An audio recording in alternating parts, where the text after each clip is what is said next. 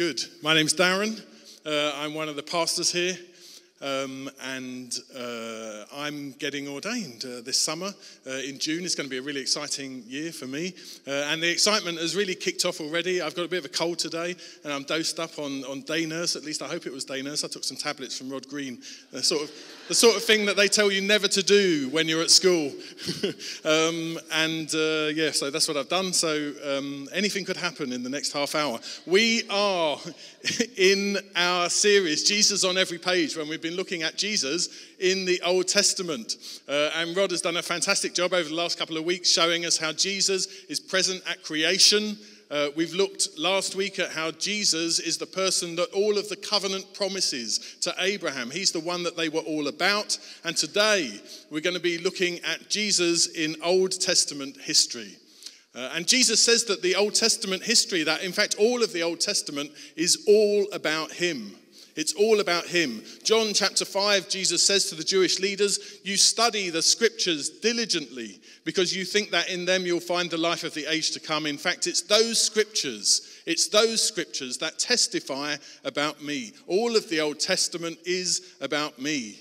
And then Luke 24, uh, Jesus gives this amazing Bible study on the road to Emmaus after the resurrection. The one event in the Bible that I'd love to have been present for, this fantastic Bible study to these two disciples after the resurrection. Uh, and we're told, beginning with Moses and all the prophets, Jesus explained to them what was said in all the scriptures concerning himself. So after the resurrection, we see Jesus with his perfect new resurrection body and his perfect new resurrection mind and resurrection perspective on everything, saying that the first five books of the Bible are written by Moses and they're all about him.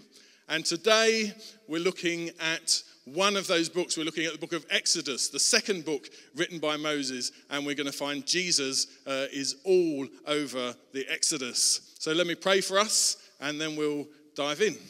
Let's pray together. Lord, we thank you for your word. We thank you that you speak to us. We thank you, Lord Jesus, that you are the word of God. And we ask that you would send your spirit today and speak to our hearts, not just to our minds, giving us information about you, but speak to our hearts so we can know you more and love you more. And we ask this for your holy name's sake. Amen. Amen. So, Exodus. Jesus taught that the whole of the Old Testament is about him. And throughout his ministry, Jesus especially uses language which is related to the Exodus to describe what he's doing. He especially uses words from Exodus to help his disciples make sense of what he's doing. And we're going to look at some of that as we go through the Exodus story. But all of this really culminates at the beginning of Jesus' ministry. Near the beginning of Jesus' ministry, he goes up a mountain and he's transfigured he's transformed, and the glory of the Lord appears on the mountain over Jesus. And, and the disciples who are with him are completely freaked out by what's going on, and they don't know what's going on. And we read in Luke that Moses appears and Elijah appears, and they're standing there with him and they're talking with Jesus. And Luke tells us that they spoke about his exodus.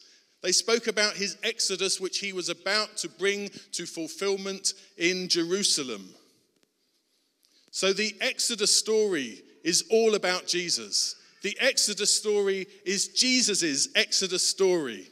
The Exodus is completed in Jerusalem. It's completed when Jesus is killed and rises from the dead in Jerusalem. The Exodus is all about Jesus. And we're going to look at a few ways in which Jesus is in the Exodus story. We can't cover all of the ways that he's in the Exodus story, but we're going to look at a few ways that Jesus is in the Exodus story this morning. So let's dive in because as we start the book of Exodus, we see that Jesus is there right from the beginning. We see that Jesus is the Passover lamb.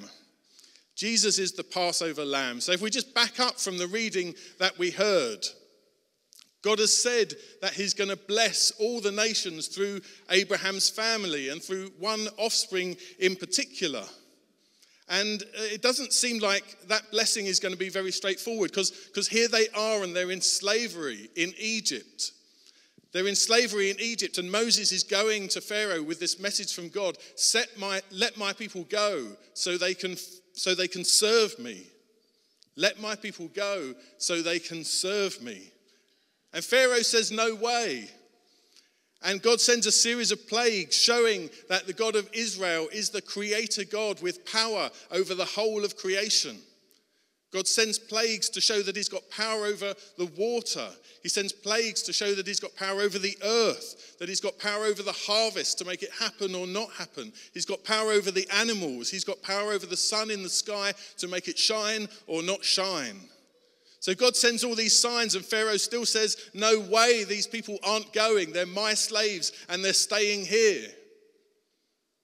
And God sends a final plague, and it's a plague of death. And in every Egyptian house, the firstborn son dies. And in every Israelite house, a lamb dies instead.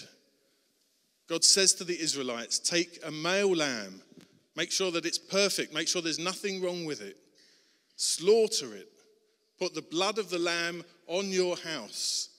And when I see the blood, I won't destroy you when I'm destroying the Egyptians. So God's lamb is killed so that the people of Israel can have life. The lamb of God dies so that God's people aren't punished along with the Egyptians. And 1400 years later, John the baptizer is standing on the bank of the Jordan and he sees Jesus and he points to him and says, Behold, the Lamb of God. Behold, the Lamb of God. And he's not saying Jesus looks cute and fluffy in his onesie. He's saying that Jesus is going to die. He's saying Jesus is going to die. Jesus is going to die so that we don't have to. That Jesus is going to be punished as the Lamb of God so God's people don't get punished. That Jesus is going to be slaughtered so that instead of death, God's people can get freedom. Jesus is the Lamb of God in Exodus. Jesus is the Lamb of God in Exodus. John the Baptizer says, Behold, the Lamb of God who takes away the sins of the world. And 30,000 Israelites walk out of Egypt into freedom. And they come to the Red Sea, and at the Red Sea, they discover that Jesus is the first fruit of new creation. We're in Exodus 14 now, that reading that we just heard. And the Israelites go through the Red Sea. And God separates the waters from the dry land so that people can go across, so that God's people can go through. The dry earth is separated from the waters. And that should remind us of something. It should remind us of the third day of creation, the day when the earth is separated from the water and dry land appears and life bursts out of the dry earth, and the first fruits of life are seen. Uh, and Rod reminded us as well that the third day is the day when Jesus rose from the dead. So, here at the Red Sea, Israel, what God's saying with this picture is that Israel are being recreated. They're being made new as the people of God. As they walk through on dry land, it's like God's doing creation all over again, starting with Israel. But they're not on their own. They're not on their own. There's someone with them leading the way. There's someone with them keeping the enemy at bay. There's someone with them making it all possible. He's hidden away there in verse 9, the angel of God the angel of God leading Israel like the captain of an army. At this point in the story, he goes to the rear of the convoy to keep the enemy away. And then he leads them again and he's going to lead them all the way into the promised land. Who is the angel of God? He's also called the angel of the Lord. And he's not just a random angel. In Hebrew, is the Malak Yahweh or Malak Elohim. And Malak means messenger. You could call him the God messenger or the Yahweh messenger. He appears in human form in the Old Testament and he speaks as if he's God. He speaks as if he's God. So to Moses, out of the burning bush, the angel of the Lord appears and says, I'm the God of your father Abraham. I have seen the affliction of my people. And there's only one person in the Bible, in human form, who speaks as if he's God, and that's Jesus. This is Jesus. It's Jesus who goes through the waters on dry land ahead of the Israelites. It's Jesus who's the first fruits of the new creation. It's Jesus who ultimately will lead his people through death safely to the land of promise. Jesus is the first fruits of the perfect earth, the first fruits of the new creation. Most of you will know that uh, later on this year I'm going to be uh, going up the road to Christchurch up in Spitalfields as a curate, uh, and a friend of mine, Phil Williams, who's over at HTB, is going to be going with me. And over Christmas, we were invited to explore the building of that church uh, up in uh, Spitalfields. So to go up into the roof space and to go up into the tower uh, and to climb over it everywhere into all the nooks and the crannies. and as we were doing that, we came to this door like halfway up the tower, and it opened out onto the roof, and I could see this roof and then this kind of drop of, of 60 meters, uh, sort of like down onto a concrete floor. And I thought, absolutely no way am I getting out on that. But Phil, who's a lot braver than I am, he just ran out, ran along the roof, and then stood on like a chimney stack at the far end, just like with this drop, just like right in front of him. Uh, and of course, you know, sort of like he'd led the way. So I thought, well, I just need to get my game face on and get out on the roof, which was what I did. and that's what Jesus has done. He's gone first through the waters of death so we can be confident as we follow him. Paul puts it like this 1 Corinthians chapter 15 In the Messiah, all will be made alive, but in this order the Messiah going first as the firstfruits then when he comes, those who belong to him will come along after. Jesus, Paul says, goes first through the waters of death as the first fruits, then all of us come along behind him. And Jude, Jesus' brother, who has that little letter in the New Testament just before Revelation, says, I want to remind you that Jesus at one time delivered his people out of Egypt but later destroyed those who did not believe. So, Jesus is the Lamb of God who rescues his people from slavery. Jesus is the first fruits of the new creation, going through the Red Sea, going through the waters of death to new life. Jesus is the Exodus. Jesus is the Exodus. And as the people of God follow Jesus through the Red Sea, they find themselves in the wilderness. They find themselves in the wilderness, and we get to Exodus chapter 16, and we discover that Jesus is bread from heaven. Jesus is bread from heaven. And the people of God there in Exodus chapter 16, they're doing what they do very well. They're moaning. They're moaning, just like church. They're moaning. they're moaning because they're hungry. Yeah, always, just before the 11 a.m. service, I'm always hungry. And there's this amazing miracle that happens that this table at the back just fills up with croissants and pastries, uh, this like miraculous provision. Well, God doesn't give them pastry, He gives them manna. Uh, and it's tasty, and they can grind it up and they can bake their own pastries with it. And He gives them as much as they need every day. And on the sixth day, He gives them twice as much so they can have a day's rest. And He does this for 40 years. For 40 years, He gives them food from heaven. For 40 years, he gives them food to sustain them. For 40 years, he gives them food to make them strong so they can get to the land of promise. And Jesus, in John chapter 6, Jesus says, I am the bread of life. I am the bread of life. It's Jesus who's sustaining God's people in the wilderness. If you're hungry this morning, come to Jesus. If you're empty this morning, come to Jesus. If you need strength this morning, come to Jesus. He says, I am the bread of life. And on the cross, his body's broken so that we can share and eat and live. So Jesus is the Lamb of God He rescues his people by his blood. He's the first to go through the waters of death to new life. And he's the bread of life, sustaining his people. And then we get to Exodus 17. Exodus 17, we discover that Jesus is water from the rock. In Exodus 17, God's people are doing what they do well they're moaning. Uh, they're moaning again and they're arguing with their leaders. They're arguing with Moses which is amazing, really. So, so you just think about the experiences that they've been through. So that the Lamb of God has just died for them and they've been rescued from Egypt. Jesus has just led them through the Red Sea. They're getting bread from heaven every single day and they're moaning. They're taking all of those miracles for granted, which is what we do. We take miracles for granted. We forget what God has already done. We forget what He's already shown us. We forget what He's already given. We forget what He's already spoken, and we just keep asking for more. We just keep asking for more. Christmas for you might uh, already be a distant memory. Uh, I can remember one Christmas, it's a little bit embarrassing, when I was maybe 10 or 11.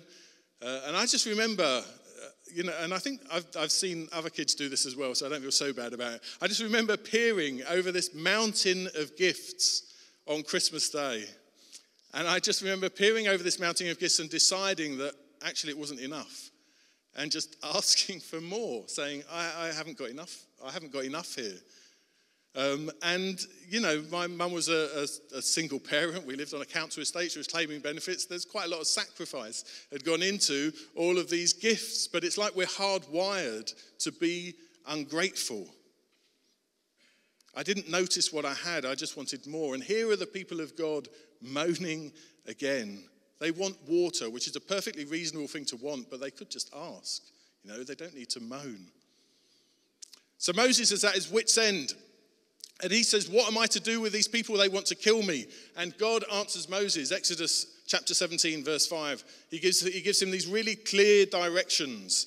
He says, Go out in front of the people. So stand in front of the whole church. Take with you some of the elders of Israel. Get the leaders up to represent the people. Take in your hand the staff with which you struck the Nile, with which you struck the Nile in judgment. This is Moses' staff of judgment. And God says, I'll stand before you by the rock at Horeb. So there's this rock, and God's going to stand in front of the rock. And he says to Moses, Strike the rock, and water will come out of it for the people to drink. So Moses hits the rock. And God is standing in front of the rock, presumably not visibly. If he's standing, we're assuming that he's in human form. Moses hits the rock and he's hitting God. He's hitting God, he's striking God with his staff, with the staff of judgment. And what's going on here is that God is taking the punishment for Israel's moaning. God is taking the punishment for Israel's rebellion, and instead of giving them punishment, instead of giving them condemnation, He's giving them the water that they need to stay alive in the desert. And 1400 years later, Jesus is on the cross and he's pierced with a spear, and blood and water comes out. Water comes out of the rock again, and God takes the sins of his people on himself again. 1 Corinthians chapter 10, Paul is talking about the Exodus, and he says that the people of Israel drank from the spiritual rock that accompanied them, and that rock was the Messiah. That rock was Jesus. Jesus was the rock that was struck in the wilderness so that the people could drink. They drank at Jesus' expense. They were refreshed by water that Jesus had bought for them. Jesus says, Whoever drinks the water I give them will never thirst. Indeed, the water I give them will become in them a spring of water welling up to the life of the age to come. The free gift of the water of life. Jesus gives the water of life, and he bought it on the cross. Instead of giving punishment, instead of giving condemnation, the water of life forever. So Jesus is the Exodus.